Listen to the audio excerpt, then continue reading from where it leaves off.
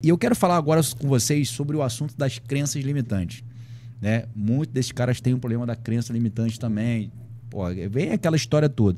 Como é que vencer isso? Como é que vencer esses traumas aí? Como é que a gente pode utilizar isso tanto na parte emocional, tantas crenças, né? De eu, eu vi um camarada, eu tava no evento, eu vi um camarada, até te falei sobre ele, ele foi no evento, falou que é, quando ele fala, pegou o microfone para falar, pô, eu sou policial militar, é militar também, e vendo perfume. E mas a, a, os meus amigos me zoam por isso. Passei por isso. Né? Então tem uma crença também, aquela crença de, pô, de aceitação né? Porque você faz alguma atividade, tem aquele militar que quer empreender, e o cara, você quer, você quer. É normal isso dentro da, dentro da, da, da, da atividade militar. Como o cara quebrar isso? Aí eu vou ser insistente e vou falar de novo. Método CIS. Ambiente. Bom, tá tudo lá então. Tá tudo lá. O, o, método CIS ele foi construído e criado para isso. São, é uma imersão. São quatro dias, um treinamento de quatro dias, onde você vai ficar imerso nisso. Você vai trabalhar as suas crenças limitantes, vai quebrar essas limitações que de fato existem, porque tudo começa na mente, não tem jeito. Se você, é, tem uma frase do Henry Ford que eu gosto muito. Se você pensa que pode ou pensa que não pode, tá de qualquer forma você está certo. E uma coisa que eu queria trazer, eu não podia sair desse podcast sem antes falar sobre isso. Eu acho que é um momento oportuno que a gente está falando de crença. O militar, ele é criado e forjado para ser um guerreiro, para ser um lutador, um batalhador. Mas essa crença no mundo aqui fora, ela é disfuncional. O guerreiro, ele faz o quê? Guerra. Vai pra guerra. O lutador, ele vive fazendo o quê? Lutando. Lutando. E o batalhador vive... Em batalha. Se você tira isso dele, ele é quem? Aí que tá o problema. É aí que mora o problema. No momento em que ele sai da força armada, você tirou a guerra, você tirou a luta, você tirou a batalha.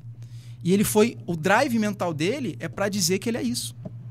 Então, no método CIS, ele precisa virar esse drive. Ele não tem que viver aqui fora uma vida de guerra. Ele não tem que continuar guerreando, senão ele vai começar a guerrear com os familiares, ele vai guerrear com os amigos. Acontece ele vai... muito isso. Acontece muito isso? Porque a identidade dele, ele é exatamente esse cara, sou da guerra. É, então, assim, isso é muito legal enquanto militar. É necessário, até para defender o meu país, eu quero que o cara seja assim mesmo. Sangue nos olhos. Exatamente, como eu me sentir seguro e protegido. Agora, quando ele vai para o mundo aqui fora, para se relacionar, para ter resultado, ele não pode ter essa crença, esse drive que foi instalado nele, ele precisa reprogramar isso. Ele tem que entender que ele não é mais um guerreiro, que ele não é mais um lutador. Ele tem que começar a trazer uma identidade nova. Ele tem que começar a viver um personagem novo. Ele tem que começar a mudar o drive mental dele e ele tem que pegar aquilo que é bom. O que, que é bom? Cara, eu sou disciplinado, eu sou obediente, eu sou focado, eu sou um executor. Se ele pegar esse drive bom e eliminar o drive disfuncional, esse cara vai ter resultado. Eu te afirmo. Ó, e eu quero fazer um adendo nisso, porque é justamente aí que surge essa palavra mais comum, que é a crise de identidade, né? Que é quando ele, ele é, o, o militar, quando ele sai, ele pensa que ele é aquilo que ele faz. Sim. E quando ele é impedido de fazer o que ele sempre fez, ele cai numa crise de identidade. Porque ele não se reconhece em aquela função. Exatamente. E isso entra no problema da, da questão hoje da, do suicídio. Entra no problema da depressão Total. e da, da ansiedade. Exemplo, quando o cara é muito operacional, estatística, tá? Quando o cara é muito operacional, ele vem para a vida civil e ele não tem umas certas capa, é, capacitações, habilidades na vida civil com alguns cursos, ele, ele quer vir para a área da segurança. Sim. Ele é operacional. Só que as oportunidades são diferentes. Então ele começa a fazer funções, trabalhos que não é o que ele gostaria. Então ele se... não é pelo que ele foi treinado, para ser. Então exemplo, vamos dar uma profissão que é digna, mas que, é, que é, é motorista de caminhão, por exemplo, de ônibus. O cara vai dirigir ônibus, mas não é aquilo que ele gostaria de fazer. Uhum. Entende? Ele carregava mochila. Ele estava com um fuzil na mão. Ele estava cumprindo a missão. Agora ele é motorista de ônibus. E agora o motorista de ônibus ele é trocador também. É não que seja ruim. Só que entra numa crise de identidade. De identidade, tipo assim, cara, isso aqui não sou eu, não, pô. Eu sou o cara, meu irmão. Que parada é essa? E já aconteceu, essa história eu tô contando, uma história real, de o camarada se matar. E ainda assim é conduzido por pessoas que não reconhecem os seus valores. Não, não reconhece. É, e não é só isso, tá? Não reconhece os valores. Você vê hoje no mercado, se a gente for olhar para o mundo civil também, quantas pessoas batem no peito para falar eu sou o juiz, eu sou delegado. Não, você não é. Você está. Está. Tá. É uma profissão. É o que você faz. Ser juiz, você não é juiz. Você está como juiz, você exerce a profissão. Quem você é de fato na sua essência? Quem é o seu caráter? Quais são os seus valores? Então é isso que a gente tem que trabalhar nesses militares. Porque ele entra nessa crise de identidade, primeiro, ele inverte, existe uma pirâmide. A identidade, ela é a base da pirâmide.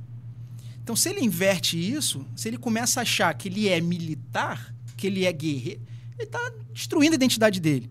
Não. Quem eu sou? Eu sou Emerson. A minha identidade é Emerson. Sou marido da Érica. Sou filho de Deus.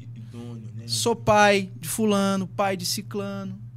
É que eu não tenho filhos ainda, por isso que eu tô dando exemplo. Mas vai ter. Pô, Eric que tá vendo esse Vou podcast, ter. é pai de quem? É, é, é, vou ter, não tenho filho. Mas eu tenho características. Eu, eu sou disciplinado, eu sou obediente, são características minhas. Hoje eu estou como um franqueado na Febracis. Amanhã ou depois esse cenário pode mudar. Então, eu sei qual é a minha identidade. Então, o militar ele tem que trabalhar a identidade dele, porque é a base da pirâmide. Então, nós já conseguimos identificar, primeiro ponto, a pirâmide dele está invertida. Ele não sabe quem ele é. Sim. Ele acha que ele é o que ele faz, ele acha que ele é militar. E quando você vai verificar e checar a identidade dele, nós encontramos disfuncionalidade. Que ele vive sendo batalhador, sendo lutador, sendo guerreiro. E aí você tirou isso dele, ele virou quem? Entrou em crise. Então ele tem que reprogramar esse drive também, tá? Então assim, eu acho que identificando isso, o militar que está nos assistindo, sabendo disso, é uma grande oportunidade para ele poder mudar esse drive. Para que ele tenha resultados de fato, ele precisa mudar esse drive mental. Excelente. Bom, eu acho que você está conseguindo entender um pouco mais sobre a mentalidade do crescimento e aproveita. Tudo está no Metro CIS, não é isso, Ferreira? Mas você já tá, vai anotando tudo aí. Ó, rapidamente aqui, fala de um assunto importante sobre a liderança que o cara aprende nas Forças Armadas. Ela pos- pode ser utilizada, seja na questão de eh, gestão de empresa ou até mesmo na venda? Deve.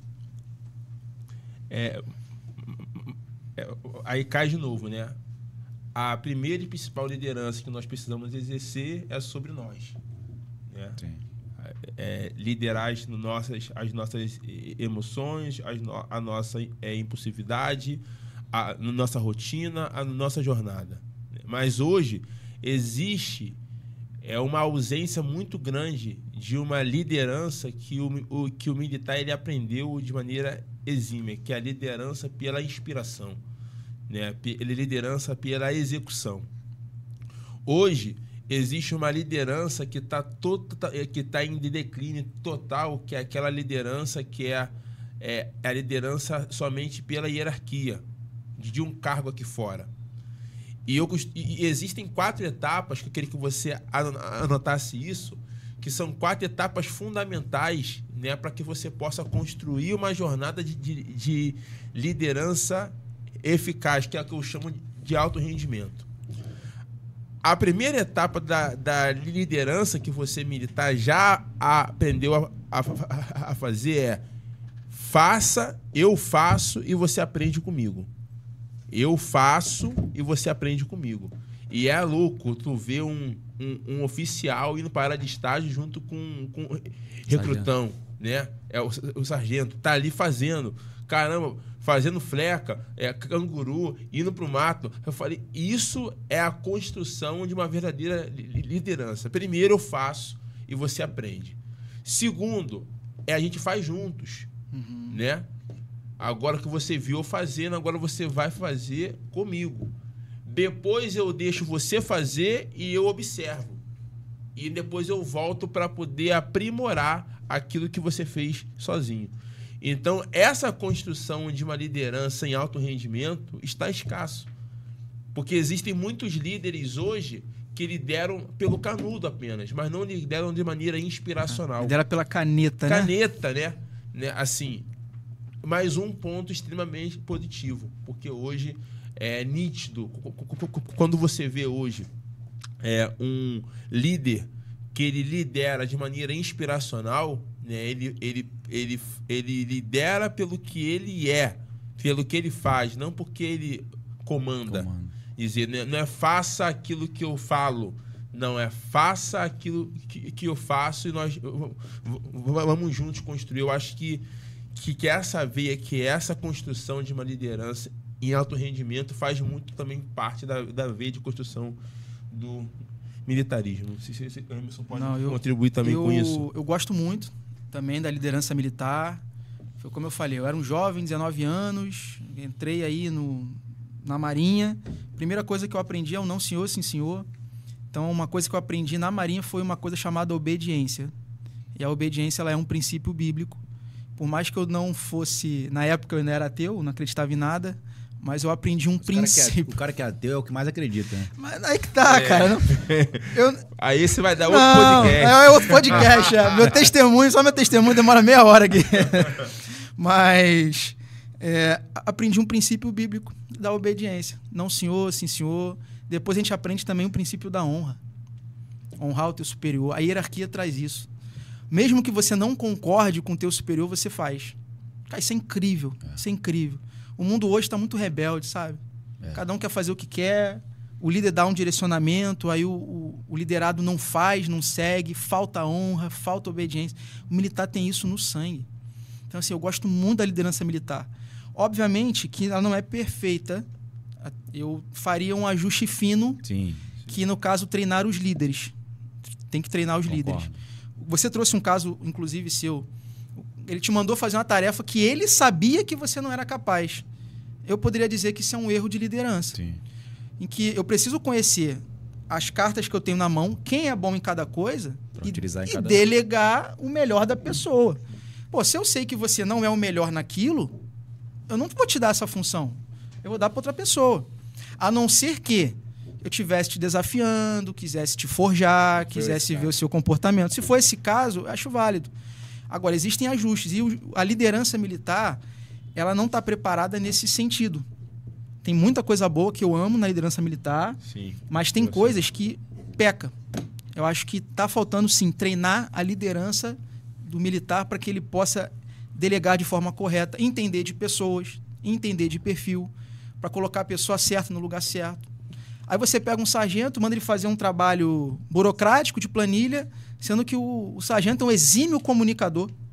Você está matando ele. Sim, e acontece muito isso. Vai vir os relatórios errados. A cada meia hora, esse sargento vai levantar para tomar café. Mas por quê? Porque ele quer se conectar com pessoas. Ele ama a pessoa, ele quer falar, ele quer conversar. Ao invés de eu pegar esse. Fazer esse ronda. É, fazer ronda, né? Quer, quer botar mochila, quer botar mochila. Ao invés de pegar esse cara e botar, entre aspas, de castigo, para fazer planilha, às vezes matando ele, por que não colocar alguém que já é naturalmente. Uma, uma competência que ele tem já é essa. Por que não? Sim. Mas por quê? Porque a liderança não entende pessoas.